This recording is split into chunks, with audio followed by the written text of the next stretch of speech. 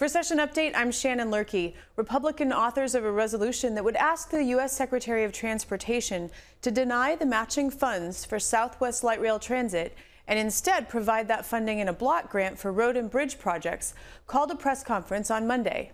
Here's that press conference. Good afternoon. Good afternoon. On a wonderful spring day, don't you think? Today, Today, the Minnesota State Senate took the first step in preventing a $2 billion taxpayer boondoggle from being rammed down the throats of Minnesotans by an unelected, unaccountable group of Metro liberals. Senate Resolution 51 and the pending House resolution that Representative Linda Runbeck will be authoring today asked for the Federal Transportation Administration to deny the $900 million plus federal matching funds for the construction of Southwest Light Rail in the metropolitan area and block grant the funds to the state legislature to spend on transport, transportation priorities that Minnesotans actually want. Since its inception, Southwest Light Rail has received exactly zero votes in either the House or the Senate. Think about that. The largest single taxpayer public works project in the history of Minnesota, and not one up or down vote. That ends today be it a last minute floor amendment that was never agreed upon in the Senate or dissolving CTIB, there is a concerted effort to sidestep the Minnesota State Legislature. That the unaccountable, unelected Met Council, solely appointed by Governor Mark Dayton, is intentionally and willfully seeking to backdoor this project around the voters and around the elected legislature. One of the components of the transportation, uh, Federal Transportation Administration's grant process is to review local support for a project. It's time for Minnesota to stand up to Mark Dayton's Met Council and tell him to end this project now. And we're asking that the federal uh, FTA gives us that block grant so we can spend it on the priorities of Minnesota. I now introduce the author of the House resolution, Representative Linda Runbeck. Good afternoon. I do like the height of this new podium in the, in the press corps room. Um, I'm Linda Runbeck, uh, state representative from District 38A in the northern suburbs. And uh, really, alongside of Senator Osmek, uh, we've been working on the Southwest Light Rail issue for a number of years. This is the first opportunity we've had, uh, given that the Senate and the House are in, this, in the same majority by the Republicans, is to actually be able to, to do something about it. Uh, and I think you covered the, the subject very well, which is that we have an unelected body that is not accountable to any other elected official save one, uh, and does not even feel itself necessarily required to, to uh, engage the public um, in terms of how this project is being developed. And I think it's fitting that today we also heard uh, of plans to reform the governance of the Metropolitan Council. Uh, Southwest Light Rail is probably emblematic, the most emblematic project of what happens when you have an entity such as it is, extremely powerful, with very little accountability and, and very little oversight. It's a project that has failed on so many counts to be developed in a thorough, uh, neutral, um, a public way that people have had an opportunity to weigh in on. Uh, and I think if you read the language of our resolution, uh, I think you'll see itemized the many ways in which this project is failing the taxpayers. Because not only is the construction cost out of this world, $2 billion, but that's, it's not over at that point. The news flash is that the public is going to be required into perpetuity to continue to subsidize the operating costs, and some 25 years down the road, they'll be subsidizing the replacement costs.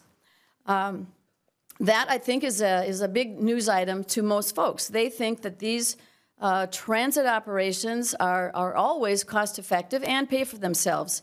The truth is that fully 66%, two thirds of the cost, is paid for by statewide taxpayers, and that's been rather long standing. Uh, um, but um, so we're sitting now with about $56 million a year is the subsidized, subsidized cost from the state taxpayer. And that is without Southwest Light Rail and about six other projects, seven other projects that are waiting in the wings. Southwest Light Rail is on a mad dash to get all of its work done so that um, the legislature cannot get involved and weigh in on this project. So we saw last week that $700 million in, in bids are being let for all the pieces to this project, which includes some 29 bridges, uh, six tunnels, uh, you name it. It is an enormous, enormous project. And what are we doing it for? Is it for mobility? I mean, that's what most people would assume. But it is not about mobility. Light rail transit is the most high cost, low capacity and really obsolete form of transit that is out there today. Uh, and yet we are going ahead with the project as it is. We also know that the subsidies do not end with the operating costs.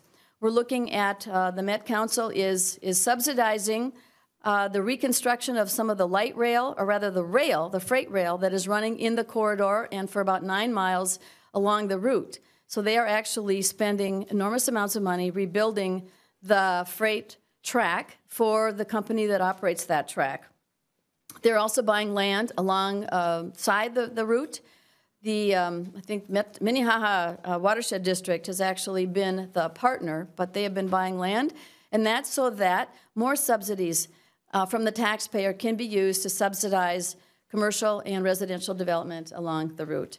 So there's so many reasons that um, we feel that this is the time uh, if we don't do this now, we are, are saddled with an enormous cost uh, to the taxpayer. We feel it's our, our uh, due diligence to them.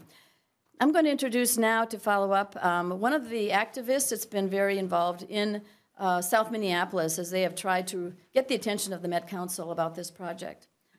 And that is Mary Paddock. So, welcome, Mary. Thank you. I am Mary Paddock, and I am here to represent LRT Done Right, a grassroots organization of some 450 citizens.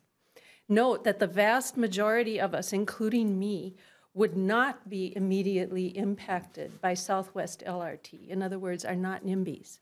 And just for the record, I'm a liberal. As are many we of my. you for that. it's mutual. We thank uh, Representative Runbeck and Senator Osmek and their colleagues for sponsoring this resolution. First of all, it alerts the FTA to grave concerns that many thinking, responsible people have about Southwest LRT. And just as importantly, it creates a context for much needed public discussion instead of closed door discussions about Southwest LRT in the legislature. For years, People in our group have tried in vain to get the Met Council to respond to our concerns, but they show us only a blind eye and a deaf ear. It's as if they feel they are unaccountable to the public, because they are not. The Met Council, one of the most powerful public entities in the state, is completely unelected and remains the only such body in the United States so they can afford to ignore our tough questions. We are pleased to see our four main concerns reflected in the resolution. First of all, safety. Southwest LRT's electric wires would run immediately next to freight trains that carry millions of gallons of explosive ethanol through residential neighborhoods and under the Twin Stadium. This is an issue that also troubles the railroads as well as Minneapolis Fire Chief John Fruetel. Second, equity. The proposed light rail avoids the very areas where people most need public transportation. Third, the environment. The route would devastate one of the most beautiful and most visited areas of Minneapolis's famous signature chain of lakes. It would destroy some 44 acres of urban forest and prairie restoration project. And it would actually add 2,000 more cubic meters of greenhouse gas into the environment than if it were not built. Many liberals think that this is an environmentally kind project. It is not. And finally, it is not cost effective. As has been noted, it's the costliest public works project in Minnesota history. The price tag is mind boggling $2 billion. That is three times the cost of sending the New Horizons spacecraft to Pluto. And what is the payoff for this huge expenditure? As Congressman Martin Sabo, DFLer, nationally recognized expert on transportation finance, said two and a half years ago, it is meager. The Met Council admits that Southwest would only take 6,500 cars off the road, and not until the year 2040, 23 years from now. So do the math.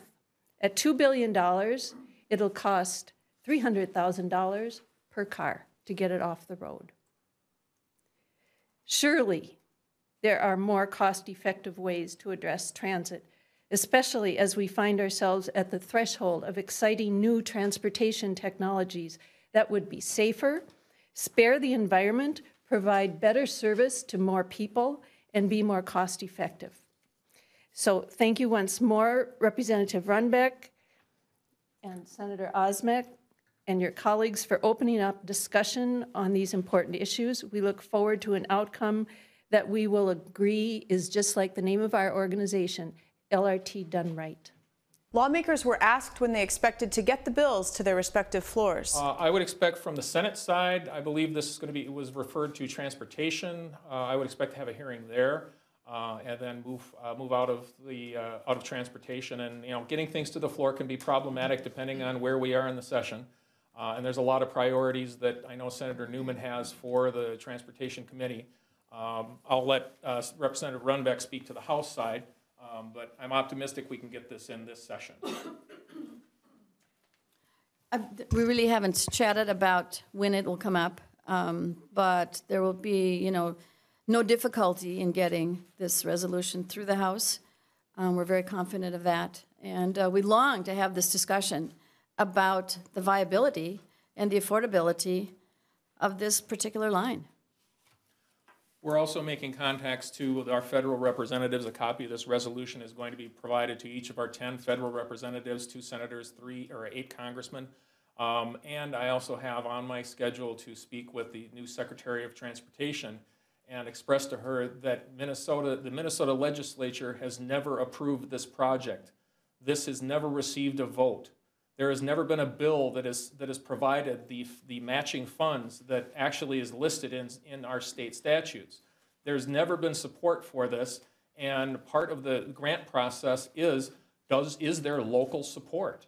And the answer is no, and these resolutions clearly describe that. A reporter pointed out that five cities were in support of Southwest Light Rail.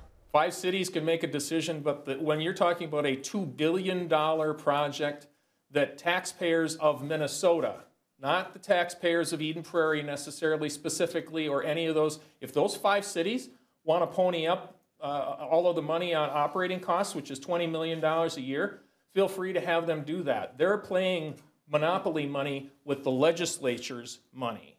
And we think if you're going to demand 20 to 25 million dollars a year in operating subsidies, you should come to the legislature first not to the cities first, because we're subsidizing that. Step over.